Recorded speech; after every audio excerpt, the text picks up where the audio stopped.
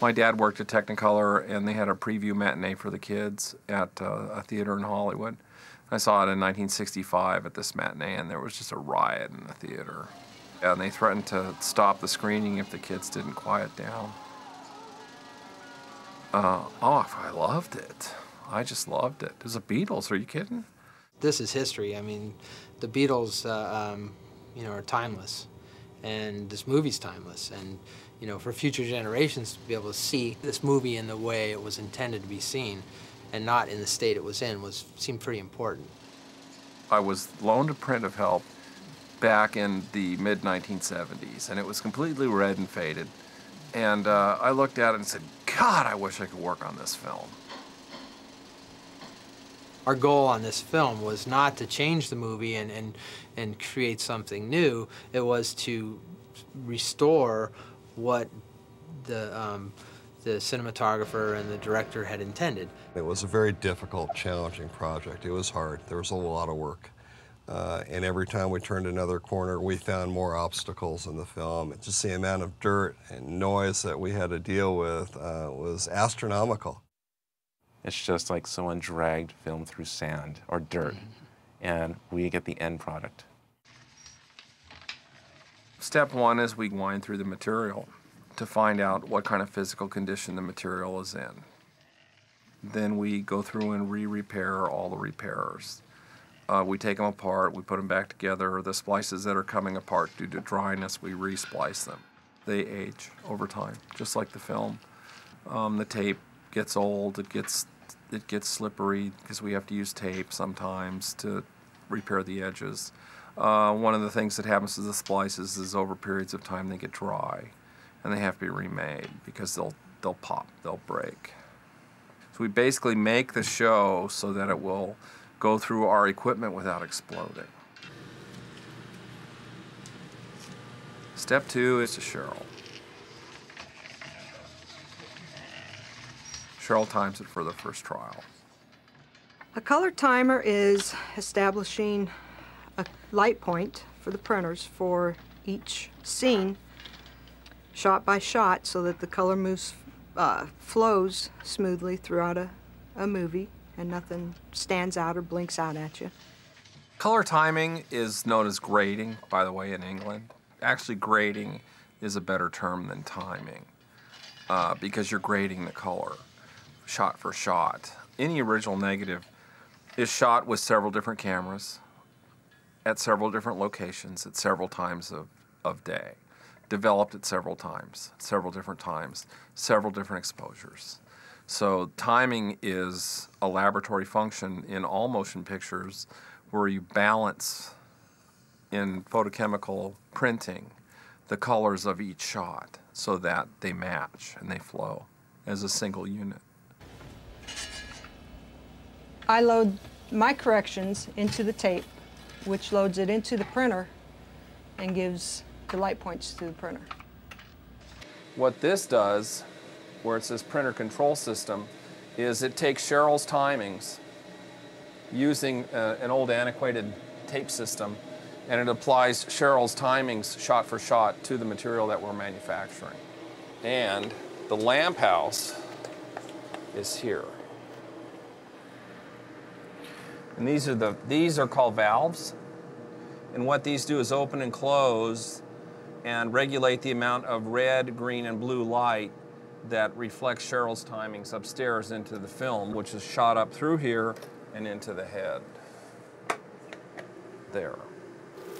This is a wet gate panel printer, contact panel printer, that we use to print help on um, in various stages of the process. What this machine does is it duplicates exactly the original negative material uh, to modern day film stocks. And it, it's come in very handy for us, especially in a show like Help, which is 40 years old. Um, over the years, it can collect quite a bit of surface defects and blemishes, and this machine will actually remove them while they're printing it. When light hits a film, like when you see it on a screen and you see scratches, what the light does is it hits the film, and when, it, when the light sees the scratch, it bends it. And so that causes a scratch. So what this does is it It fills with liquid, which fills in the scratches and allows the light to go straight through the film, thereby eliminating the scratch, the scratch or the surface defects on the material.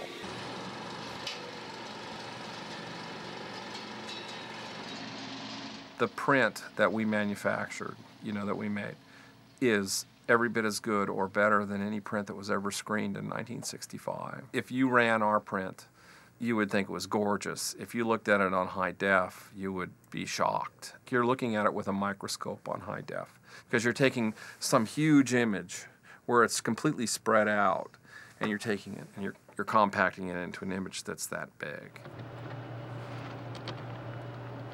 From that HD uh, master, we then brought that up into our DRS environment where I'm sitting now, and we really started the painstaking work, the, the frame to frame to frame uh, cleanup of, of everything that should not have been in there from years and years of being on film and celluloid and the problems that you know we inherited. At the beginning of every morning or at the end of every day, we'd go to each other and go, "Hey, how far did you get? Right, Todd, right, how many minutes did you get?" He goes, Or minutes. minute. Yeah, exactly. minutes. I got through 20 seconds. We decided that uh, it was full restoration, 90 minute project, that uh, we would split it up in half. And uh, I don't think we did heads or tails or anything, but I did the first half and Kevin did the second half. I think one of the things we had to decide on was what was introduced after the film was made and what was intended to be shown to the audience. And after we got past that, we were able to basically attack all the dirt and leave the dirt that was intended to be there or the scratches that the director wanted. The main title, uh, Richard Lester, the director, uh, was supposed to, it's black and white, and the rest of the movie is color. And it's- it's intended to be kind of like surveillance footage of the Beatles. So it's supposed to have some dirt, maybe some scratches. So it was kind of tricky to decide how much dirt to take away. And another thing was it was projected onto a screen, and the screen had imperfections on it too. That's so we had to decide, well, that's part of the screen, we can't take that out. That has to stay there. This before and after, and I'm tweaking my auto filter um, adjustments and parameters of how aggressive I want to attack it. Uh, there's a fine line between pushing it too far and not pushing it far enough. So if I go too far, then you might see part of John's nose disappear, or if you don't push it far enough, um, there'll be more pieces of dirt. So there's a delicate balance there. A lot of the problems we ran into were the just the mass amounts of flurries Right, across right. faces. So we had to attack each and one of those one by one, which is an extreme task for anyone. Let's say that there's 24 frames in a second. Okay, there's 1,440 frames in a minute. And that's what people see. So it's almost like one snapshot, one picture that someone takes. That is one frame.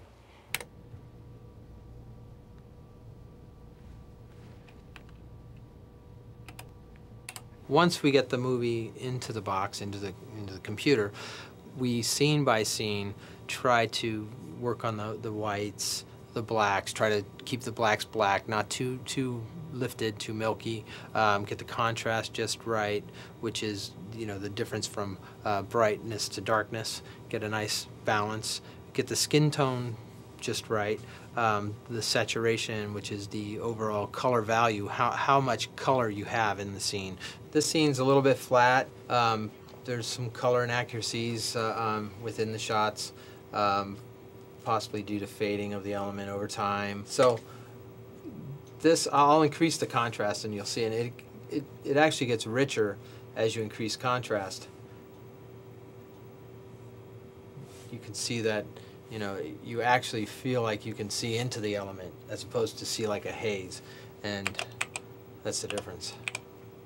So it's pretty dramatic when you do that. I also have window capability where, say we want to see, who's over here? Is that Paul? We want to get Paul dug out of this hole he's in over here. I can put him in a window and I can isolate that area and I, I can work within inside or outside of these windows. I have multiple windows I can use for different areas. So as you can see, now we can see Paul's in the shot, where probably here it's kind of hard to see. So if we want to try to save the definition in the clouds, we can do that with a grad. just to hold this guy out. You sort of feel privileged working on a movie like this, um, something that's going to go go on and go down in history. I mean, people will be watching this for years to come, and uh, to know you had a part in that, it's, it feels pretty good. I've been a Beatles fan since uh, my parents dragged me off to Shea Stadium in the early 60s, and uh, was exposed to Beatlemania. Uh, and then sort of growing up with them on the Ed Sullivan show. And, you know, my family used to sing Beatles songs growing up as a kid all the time. And it was just a wonderful, happy experience in our house to listen to Beatles music. Um, and to fast forward into my career a few years later, to be able to work on the restoration of one of the, you know, the two movies that they did, um, was just a great experience for us. To see it from the beginning, when it first came to us, and where it is now, is, it was a good feeling. What is a labor of love for me? It becomes a labor of love for them because if I have passion in a project, it's it's catching, and it has been a passion for me to make it, you know, make it beautiful again.